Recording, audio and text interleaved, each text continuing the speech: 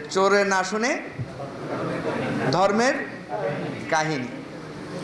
ছোটবেলায় একটা গল্প শুনেছিলাম যে একটা মাহফিল হচ্ছিল, তো সেখানে মাহফিলের এরকম মাছ দিয়ে একটা কুকুর যারা ওয়াজ করছিলেন, ওইদিকে আস্তে আস্তে আস্তে আস্তে মাহফিলের দিকে আগাচ্ছে।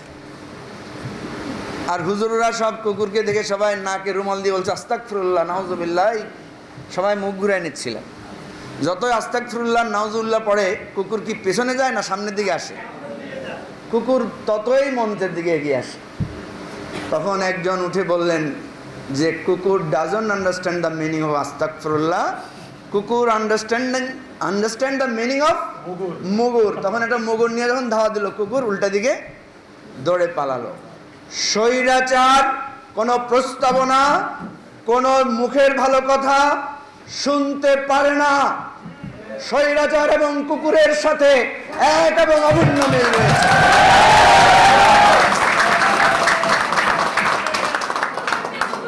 কিন্তু কিন্তু স্বৈরাচারকে উৎখাত করতে হলে এ টু জেড ইউনিটি লাগবে।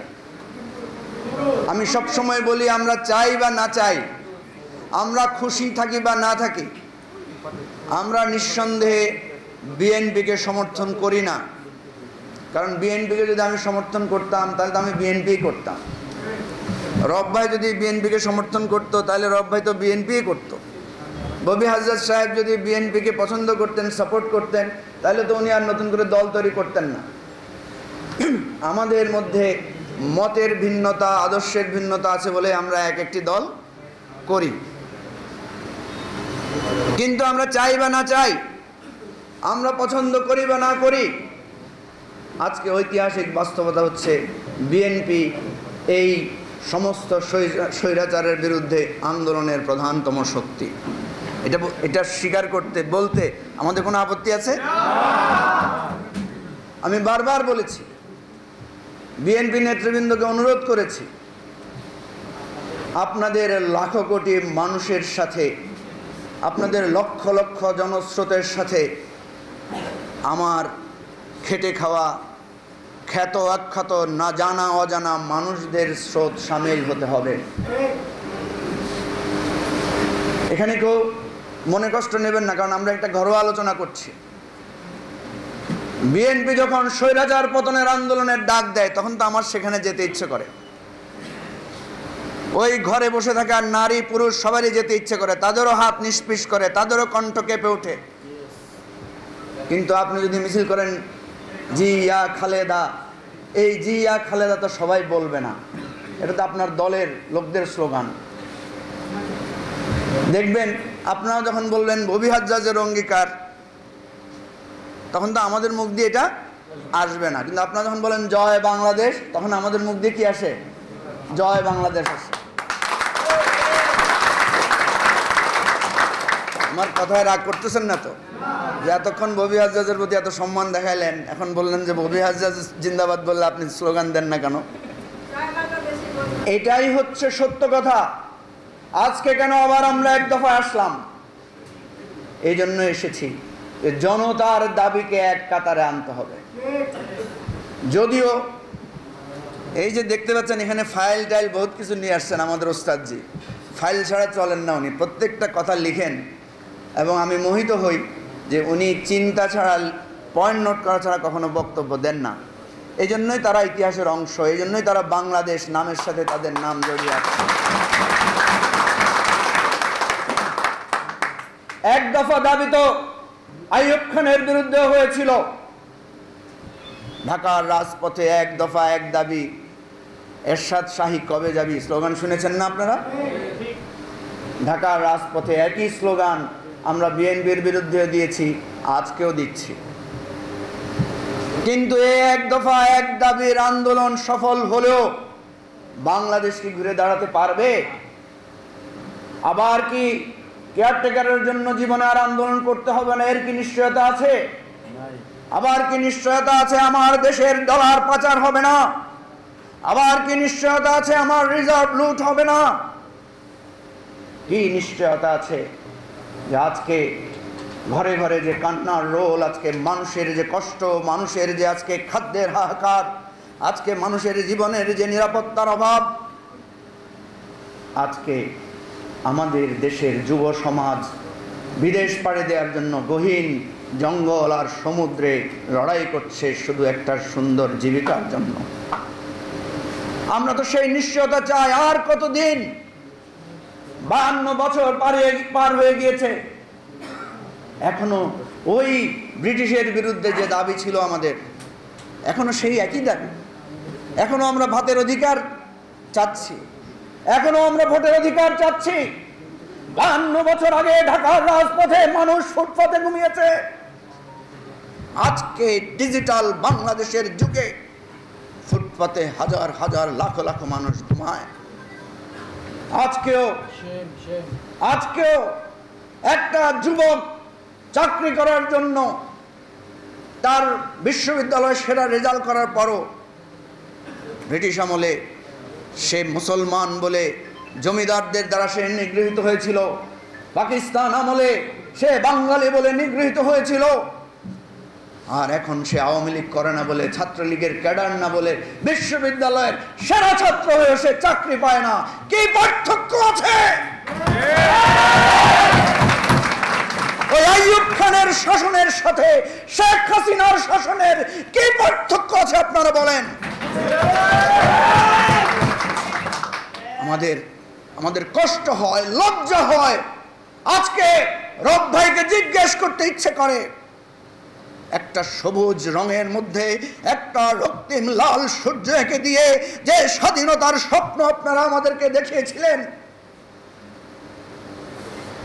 কি পেয়েছে মুক্তিযোদ্ধারা? কি পেয়েছে? ওই মা যার সন্তান যুদ্ধে গিয়ে লাশ হয়ে ফিরে এসেছে। একটি হাহাকার, কান্না, কষ্ট। আমরা দেশ পেয়েছি স্বাধীনতা পাইনি।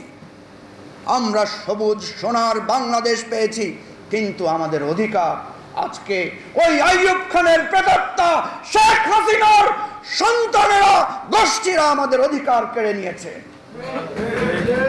সুতরাং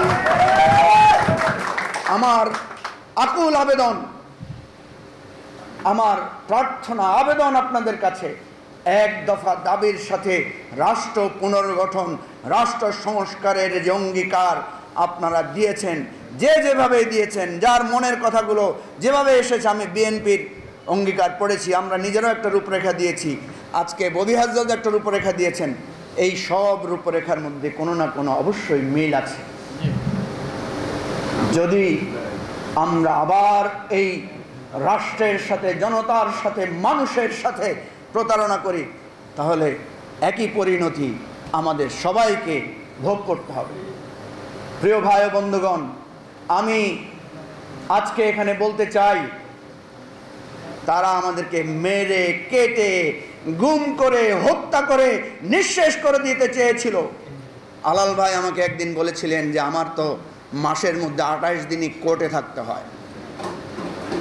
কারণ তার মামলার এক পাহাড় তার কাঁধের উপরে ভরসা করা আছে।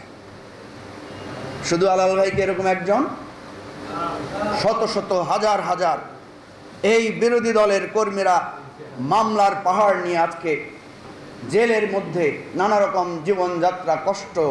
আমি কালকে বলেছি যে সরকার এত জুলুম করেছে, এত অন্যায় করেছে, এত অত্যাচার করেছে, করতে করতে তারা এখন ক্লান্ত হয়ে গেছে। কিন্তু কি ভাগ্যের নির্মম পরিহাস, বিরোধী দলের কর্মীরা একজনও এখনও হতাশ হয় নাই। আপনারা দেখেন। রোদ হয়, বৃষ্টি হয়, ঝড় হয়, রাস্তা বন্ধ করা হয়, বাস বন্ধ করা হয়, ট্রেন বন্ধ করা হয়। নদীর পথ আটকে দেওয়া হয়, তবুও জনতার স্রোত রুদ্ধ করা যায় না। আর শান্তি সমাবেশের নামে বিরিয়ানির প্যাকেট দিয়ে, নগদ টাকা দিয়ে, লোক এনে চেয়ার ভর্তি করা যায় না। এটাই হচ্ছে এটাই হচ্ছে যুগে যুগে স্বৈরাচারের পরিণতি। এখন আপনাদের বেগম পাড়ায় যাওয়ার রাস্তা বন্ধ। এখন এতদিন স্বপ্ন দেখেছিলেন, কোনো মতে পার হয়ে যাবেন, সেই পথ বন্ধ। যারা আগে থেকে ভিসা টিসা ছিল, বিভিন্ন জায়গায় গেছেন একটু লম্বা চড়ায়, ইতিমধ্যেই মানুষের ধাক্কা ধাক্কি খাওয়া শুরু করেছেন। কি বলেন ঠিক না? সুতরাং উপায় নাই গোলাম হোসেন। আপনারা যে অন্যায় করেছেন, অত্যাচার করেছেন, আমি বলছি, আজ হোক, কাল হোক, পরশু হোক, আমরা যদি আন্দোলন নাও করি, এই সরকারের চরম করুণ পরিণতি ইতিহাসে লেখা থাকবে। কেউ কেউ এই স্বৈরাচারের দুঃশাসনের পরিণতি ঠেকাতে পারবে না। সুতরাং আমাদের আজকে ঐক্যবদ্ধ হওয়া দরকার। ববি হাজ্জাজের দুই পাশে দুই মহিরহু রাজনৈতিক নেতা আছেন, আমি বলছি, কর্মসূচি আমরা যা দিচ্ছি, এখন একটা কর্মসূচি দরকার, যেই কর্মসূচিতে প্রত্যেক ঘর, প্রত্যেক বাড়ির মানুষ রাস্তায় নেমে আসবে। প্রত্যেক ঘরের মানুষ রাস্তায় কখন নামবে, কি বললে নামবে, কীভাবে নামবে, সেইটা আপনারা বের করেন। আমরা ছাত্র নেতৃত্ব দিয়েছি এখানে আমরা অনেকেই ছাত্র অঙ্গনে কাজ করেছি। আমরা জানি মানুষকে কীভাবে রাস্তায় নামাতে হয়, মানুষকে কি বললে মানুষ নেমে আসবে। এই দায়িত্ব, প্রধান দায়িত্ব বিএনপির। বিএনপিকে, বিএনপি ঐক্যের কথা বলছে, গণমানুষের ঐক্যের কথা বলছে। আমরা মনে করি যে আপনি দলকে ঐক্য করা, আরও বত্রিশ, পঁয়ত্রিশ যত দল আমরা দেখতে পাচ্ছি, আপনাদের এই দলের ঐক্যের ফল কোনো লাভ হবে না। জনতার ঐক্য দরকার জন মানুষের ঐক্যের দরকার। যে কাঁচামরিচ কিনতে পারছে না, যে পেঁয়াজ কিনতে পারছে না, যেই ছেলের চাকরি হয় নাই, যেই মায়ের সন্তান গুম হয়েছে, যেই মেয়ে ধর্ষিত হয়েছে, সবাইকে রাজপথে নামানোর জন্য দলমত নির্বিশেষে, স্লোগান নির্বিশেষে, স্লোগান নিষিদ্ধ করে দেন। দলীয় স্লোগান নিষিদ্ধ করেন, নেতার নামে স্লোগান নিষিদ্ধ করেন, শুধু মানুষের দাবির স্লোগান দেন, রাজপথে মানুষ আসবে। রাজপথ থেকে এই সরকার পালানোর পথ খুঁজে পাবে না। সেই দিনের জন্য সবাইকে আহ্বান জানিয়ে আমার কথা শেষ করছি। খোদা হাফেজ।